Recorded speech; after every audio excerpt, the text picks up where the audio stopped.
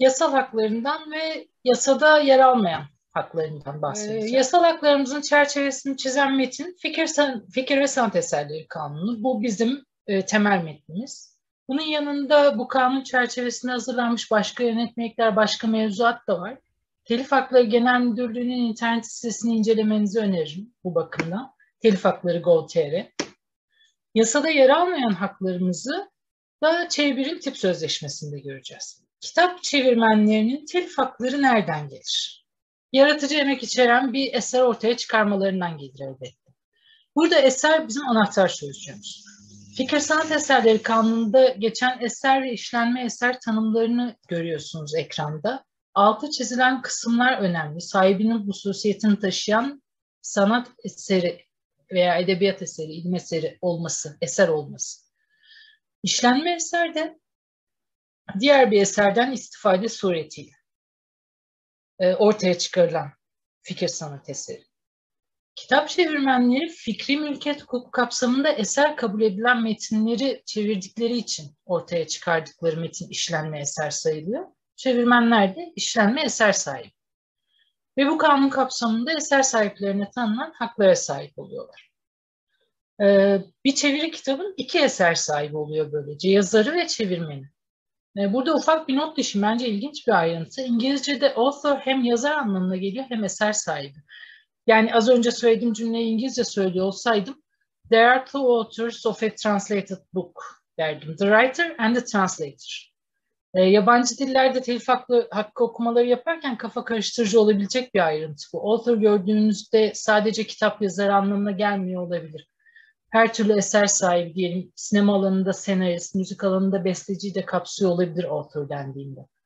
Aynı şekilde sinema eserlerinde senaryo ve diyaloglar eser sayıldığı için altyazı seslendirme çevirmenleri de kitap çevirmenleri gibi eser sahibi oluyor. işlenme eser sahibi oluyor bu kanun kapsamında. Ee, kitap çevirmenleri işlenme eser sahibi olarak kanunda eser sahiplerine tanınan haklara sahipler dedik. Peki nedir eser sahibinin hakları? Fikri mülkiyet hukukunda eser sahibinin eseriyle arasındaki bağın kopmamasına önem veriliyor. Eser sahipliğinden gelen bu şahsi bağla ilgili olan parayla pulla ölçülmeyen haklara manevi haklar deniyor. Dört manevi hak var yasada. Üçü bizimle ilgili. Diğeri güzel sanat eserleriyle ilgili olduğu için onu buraya almadım. Umuma arz salahiyeti, yetkisi yani. E, eserinin kaderini tayin hakkı eser sahibinde. Eserin başına neler geleceği eser sahibinden soruluyor. Bunu çeviri kitap üzerinden düşünürsek nasıl, ne zaman, kim tarafından yayınlanacağını karar verme yetkisi çevirmende. Yayın eviyle imzaladığınız sözleşmeyle bu yetkinizi kullanarak çevirinizin nerede yayınlanacağına karar vermiş oluyorsunuz. Ee, adının belirtilmesi salahiyeti yine çok önemli haklardan biri. Çevirinin üstünde adınız yazsın mı yazmasın mı, yazacaksa nasıl yazsın, gerçek adınızla mı çıksın, mahlasla mı çıksın. Ee, bütün bunlar sizde çevirmende hakları, çevirisinin kendisinin olduğunun bilinmesine hakkı var çevirmenin. Ee, bir başka önemli e, manevi hak. Çevirisinde yapılacak değişikliklere karar verme yetkisi de çevirmenin manevi haklarından. E, fakat e, bu konuda yayın evi benim adıma karar verebilir anlamına gelen bir sözleşme yaptığınızda durum biraz değişebilir. Yine de manevi haklardan hepsinden tamamen vazgeçmek mümkün değil. İtibarınızı zedeleyen değişiklikleri men etme hakkımız her zaman var. Bunun yanında eserden faydalanmakla yani para kazanmakla ilgili haklar var. Bunlara da mali haklar geliyor. İşte çoğaltılıp dağıtılması, satılması, kiralanması, temsili, örneğin sahnelenmesi, e, umuma iletimi, örneğin radyoda, televizyonda yayınlanması, işlenmesi, mesela başka dillere veya türlere çevrilmesi gibi beş farklı mali hak çeşidi tanımlanmış kanunda. Çevirmen çevirisine ilişkin olarak bu haklara sahip. Çevirdiğimiz eserin yazarı da özgün metin bakımından aynı haklara sahip. Bunu unutmuyoruz. O yüzden özgün metnin çevrilmesi yani işlenmesi ve çoğaltılması, dağıtılması için yazardan izin alınması gerekiyor. Bu izni yayın evleri alıyor tabii ki. Fakat bizim de aklımızda tutmamız gereken bir nokta bu. E, mali haklar dan devam ediyoruz. Mali haklar e, sözleşmeyi asıl oluşturan haklar çünkü. Sözleşme dediğimiz mali hak devir sözleşmesi. Mali haklar münhasıran eser sahibine ait. E, bu münhasıran lafını exclusively telif hukukunda çok görüyoruz ve seviyoruz eser sahibi olarak. Çünkü bu mali haklar sadece ve sadece eser sahibine ait anlamına geliyor. En azından telif koruma süresi dediğimiz 70 yıl boyunca böyle. Eser sahibinin ölümünden 70 yıl geçtikten sonra mali haklar serbest kalıyor. İsteyen istediği gibi kullanabilir. Telif koruma süresi içindeyken eser sahibi mali haklarını başkasına devredebiliyor. Yani mali hakları kullanmak için mutlaka eser sahibinden izin alması, izin alınması gerekiyor, devralınması gerekiyor bu hakların. Kanunda bu iznin yazılı olması ve hangi hakların devredildiğinin tek tek gösterilmesi şartı getirilmiş. Tüm hakları devredilmiştir diye bir ifade hukuken geçerli değil. Mesela sözleşmesiz çeviri yaptınız, kitap basıldı, siz hiçbir hak iddia edemiyor musunuz? Hayır, tam tersi. O çevirinin sahibi sizsiniz, bütün kullanım hakları, mali hakları sizde. Kitabı basmak için sizden yazılı izin alması gereken taraf yayıncı. Sözleşme olmaması sizin eser sahipliğinden doğan haklarınıza zarar vermiyor. Ama kanıtlamak için uğraşmanız gerekir. Yayın evlerinin sizinle sözleşme yapmasının sebebi de bu. Ne yazık ki herhangi bir yaptırım yoksa yasal zorunluluklar uygulanmayabiliyor. Örneğin e, kitaplara yapıştırılması zorunlu olan bandrolleri almak için 2011 yılından itibaren çevirmen sözleşmesi sunmak zorunlu hale geldi. O tarihten itibaren de yayıncılıkta çevirmenlerle yazılı sözleşme yapma alışkanlığı gözle görünür ölçüde artmış durumda. Sinema alanında mesela sözleşme ibraz zorunlu olmadığı için altyazı seslendirme çevirmenleriyle kitap çevirmenleri kadar düzenli ve sistematik bir şekilde sözleşme yapılmadığını biliyoruz. Ee, Bülent buyur. Söz istediğin yanlış görmüyorsam. E, doğrudur. Çok kısa bir parantez açacağım e, yani yayın evleri e, ispatlamak zorunda kalabilirsiniz e, demiştin ya. Yani yayın evleri mesela ismimizi oraya koymayabilir. Çevirimizi kullanarak başka bir çeviri üretebilir. E, ürettirebilir birisini. O şekilde yayınlayabilir gibi. Yani e, sonuçta bir e, sözleşme tarafı olarak herhangi bir cinlik söz konusu olduğu zaman burada gelip e, başvuracağınız yerde çeviri oluyor zaten. Biz meslek birliği olarak bunlara yetkiliyiz. Tam da yani bu e, alandaki problemleri e, değerlendiriyoruz ve bunlara çözüm bulmaya çalışıyoruz. Diyorum, bırakıyorum. Ya şimdi e, normalde e, telif kanunu eserin bütünlüğünü koruma hakkı veriyor yazara ve münhasıran bunu veriyor ya da çevirmene çevirisiyle ilgili olarak. Yani o eserin dokunulmaması hakkı var sizde aslında. Ama pratikte bu çok uygulanabilir bir şey değil. Çünkü editörün katkıları olacak, değerli de katkıları olacak muhtemelen. Yayın sürecinde gereken bir takım değişiklikler olabilir. Hatta Savaş ikinci saatte onlardan bahsedecek. Redaksiyon süreci, son kontrol, okumalar, e, bu karşılıklı beslenen bir süreç çok önemli. E, fakat bu süreç anlayışlı, saygılı, yapıcı bir şekilde işlediğinde çok faydalı. Fakat yıkıcı ve inatçı bir şekilde işlediğinde e, çok çıkmaza sürüklenen bir süreç. E, pratikte pek çok farklı görünümü var. Yasa bize bu hakkı veriyor değişiklikleri tamamen men etme hakkını ama sözleşmelerde genellikle yayın evleri çeviri üzerinde değişiklik yapma hakkını alıyorlar bizden. Şimdi manevi hakların şöyle bir güzelliği var. Yazılı izinle bile tamamen e, mene, tamamen vazgeçilemiyor, tamamen devredilemiyor bu haklar. Yani siz e, yazılı izin verdiniz diye diyelim bir çevirinizde değişiklik yapıldı, bir paragraf atıldı ya da bir bölüm atıldı.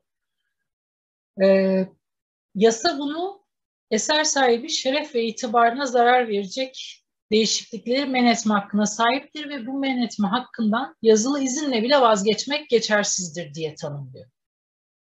Ama kanıtlanması konusu çok önemli. Eğer bu değişikliklerin hatta tip sözleşmede göreceğiz. O yüzden biz yapılan bütün değişikliklerin çevirmenin onayına sunulması gerektiğini ve bunun sözleşmede yer alması gerektiğini söylüyoruz. Çünkü e, bütün değişiklik yapma hakkı kayıtsız şartsız yayın evine verilirse ve yapılan değişikliklerden memnun olmazsanız sonra da bunun davayla tespit edilmesi gerekir. Ve evet zor bir süreç. Bilirkişiye gitmesi lazım. e, değerlendirilmesi zor, muğlak terimler bunlar. Böyle.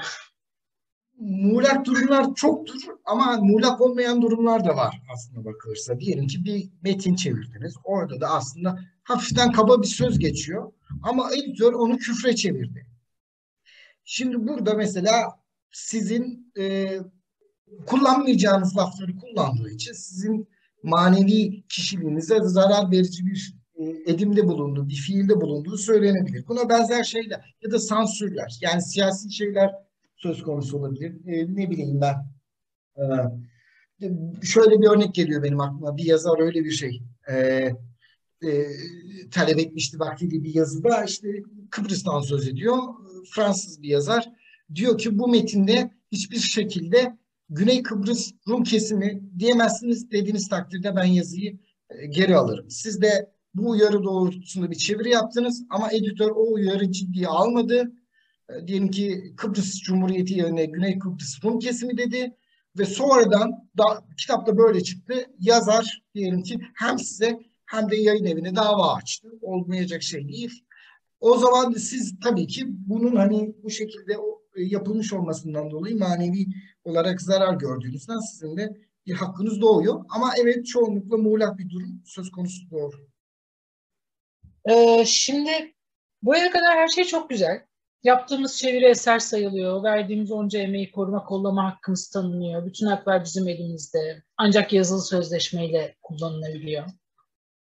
Fakat 48. maddeye baktığımızda mali hakları e, süresiz, sınırsız, karşılıksız devredilmesinin mümkün olduğunu görüyoruz. Yani sözleşme şartlarının eser sahibinin emeğini karşılayacak şekilde belirlenmesi konusunda yasadan medet umamıyoruz. O zaman ne yapıyoruz? Emeğimizin karşılığını ya kendimiz belirliyoruz ya bize önerilen şartları değerlendiriyoruz, kabul ediyoruz, etmiyoruz. Bir noktada mecburen emeğimizin hakkını karşı, hakkı, karşılığına hakkıyla alabilmek için örgütleniyoruz. Kitap çevirmenleri 2003'te bunu yapıyorlar. Kitap çevirmenleri grubu diye bir mail grubu üzerinden bir araya geliyorlar. Bu grup 2006 yılında Kitap Çevirmenleri Birliği'ni kuruyor.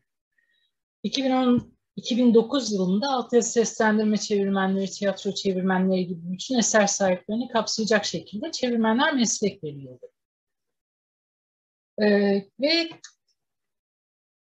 ım, kitap çevirmenlerinin burada tarihçisi de var. Çevirmenler Meslek Birliği'nin internet sitesinde yaptığı başlangıçtaki projeler ve bir sürü ayrıntı var. Onları da inceleyebilirsiniz dilerseniz. Ee, Çevir kitap çevirmenliğinin meslek olarak sürdürülebilmesinin asgari şartlarını çizen tip sözleşmeyi hazırlıyor. Tip sözleşme çevirmenlerin hem manevi haklarını koruyor hem de mali haklarını hangi şartlarda devrettiklerini belirliyor. Ee, burada manevi hakların örneklerini görüyorsunuz. Çeviride manevi haklarla ilgili hükümlerin sözleşmedeki örneklerini görüyorsunuz. Çeviride yapılan değişikliklerin çevirmenin onayına sunulması şartı bu bakımdan çok önemli. Az önce konuştuğumuz yerlere gitmemesi için. Ee, bunlar size gelen sözleşmeler, yani bundan sonra bahsedeceğim şeyler, tip sözleşmenin altını çizeceğim hükümleri. Size gelen sözleşmelerde özellikle ilk bakışta dikkat etmenizi tavsiye edeceğimiz şeyler, en çok sıkıntı yaşanan, en çok haklarınızı kaybedebileceğiniz ya da koruyabileceğiniz yerler buralar. Ee, üçüncü taraflara devir için e, çevirmenin yazılı onayının alınması yine önemli bir madde. Mali hakları devralanlar e, bunları ancak yazılı e, sizin yazılı muvaffakatiyenin onayınızla yani başka birine devredebilirler diye yasada belirtiyor. Sözleşmede üçüncü taraflara izin verdiğinizde yani şuradaki gibi yazılı muvaffakatini alarak ifadesi olmadan üçüncü kişilere temlik konusunda yetkilendirilmiştir dediğinizde e, A yayın evine verdiğiniz çeviri Z yayın evinden çıkabilir. Sözleşme, manevi haklar zaten yasada korunuyor. Tip sözleşmede de yeri var haliyle. Önemliler de. E, fakat tip sözleşmenin e, mali haklarla ilgili hükümlerine özellikle bakmak istiyoruz. Bunlar çevirmenlerin devrettikleri mali hakların kullanımından doğan kazançtan adil pay almalarını öngörüyor. E, eser sahip Çevirmenlerinin asgari ücreti diye bir şeyin yasada karşılığı yok. Çevir çevirmenler için bu boşluğu dolduruyor.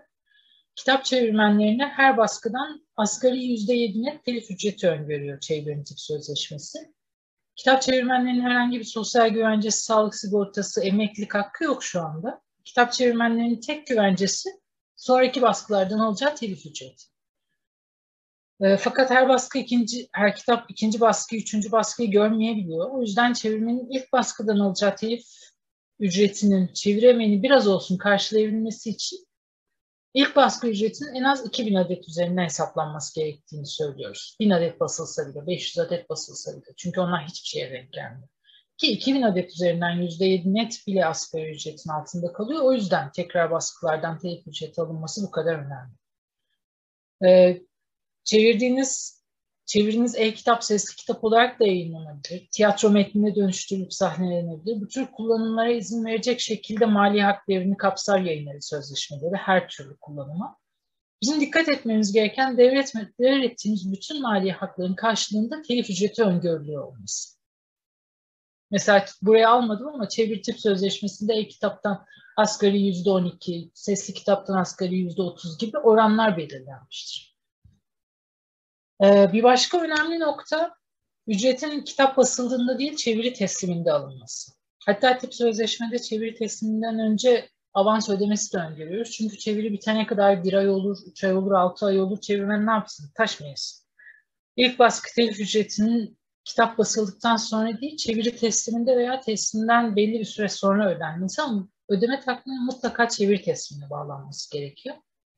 Çünkü sizin elinizde olmayan sebeplerle basım takvimi gecikebilir, editör yoğundur, yayın evi takvimi değişir. Aylarca hatta yıllarca bekleyebilirsiniz kitabın basılması için. Tabii bir noktada yani yapacağınız hiçbir şey yok değil ona, o durumda bile. Bir noktada kitabın basılması için makul süre geçmiştir diye telif ücretinizi talep edebilirsiniz ama sözleşmede yazılı olmayan şartların uygulanmasını sağlamak her zaman çok daha zor oluyor. Ee, yine pratikte karşımıza çıkan zorluklardan biri e, bizim tip sözleşmeyle çerçevesini çizmeye çalıştığımız çevirinin yayın evi tarafından kabul edilmesiyle ilgili.